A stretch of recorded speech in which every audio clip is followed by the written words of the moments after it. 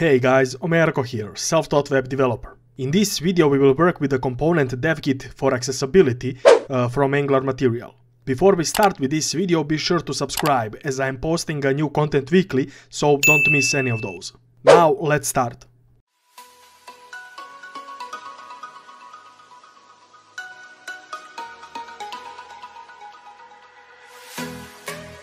First of all, for what can we use CDK accessibility? Well, the development community has been working on this for, well, many years now, and that is to enable people with disabilities to access the web, websites, and applications more easily.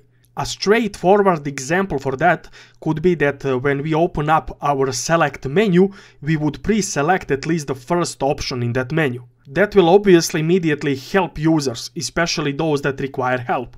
Now we won't build such a select menu as using those simple controls where it is quite easy. Instead of that we will build a form with multiple input fields and we will be able to move through those input fields with our arrow keys. That example as well will give additional support for our users.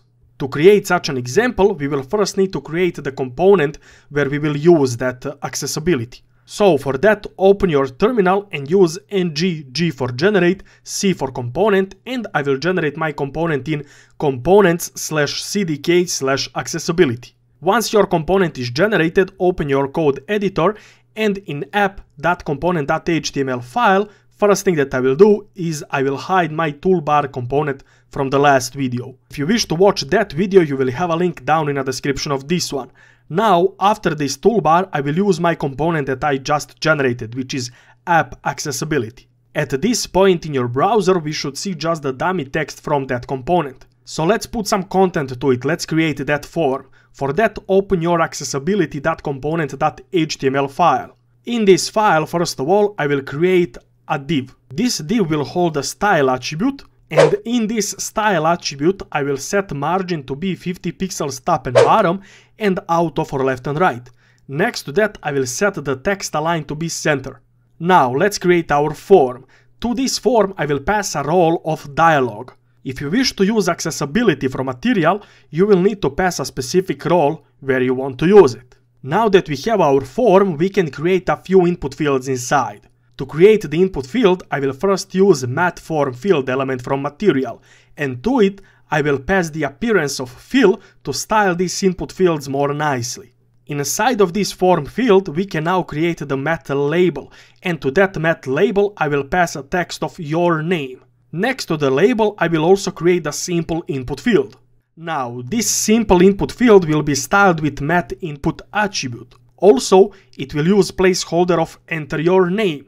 And with that we have our input field and also our label for that input field. Let's create more of those so we could use our arrow keys to route through those input fields. I will simply copy this same input field two more times. We can also now change the text and placeholders, so the second one can be for the email and the third one can be for the address. The smart thing to do here is to add a local reference to our form and also the form elements inside that we have. That way, Angular Material will later know which feature will use those arrow keys.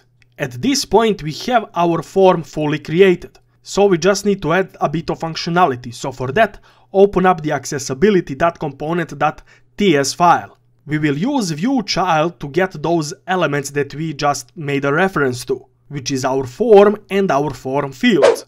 Ensure that the form itself is an element ref, while our input fields will be a query list. As we will manage our arrow keys, I will create a variable called key manager. Now we need also to ensure that our keyboard, whenever we press a specific key, will do something for us. The only thing that we need to do here is to allow such a thing.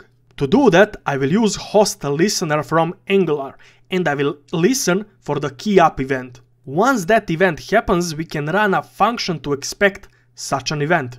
I will name my function key function. In this function we can check if the key press was not a tab. If that is the case, we can focus on a specific element through our key manager. Otherwise, we can just set the following item to be active. Now that we allowed these key events, we can use ng after view init lifecycle hook from Angular. Inside of this lifecycle hook, we can specify which input field should be focused. Next to that, we can also specify the orientation, like from left to right, and also wrap everything inside of our key manager. At this point, if you are getting any errors related to imports, take a look at mine imports and make sure to reuse the same ones. Because all of these features that we used are related to Angular or Angular material, hence those must be imported appropriately to be used. But now we can test this. Open your local host and you should have a material form presented. Click on the first input field. From here, by using the left and right arrows, you will jump from field to field. So we can enter some data, use the arrow to move to the following field, populate that one, and so on.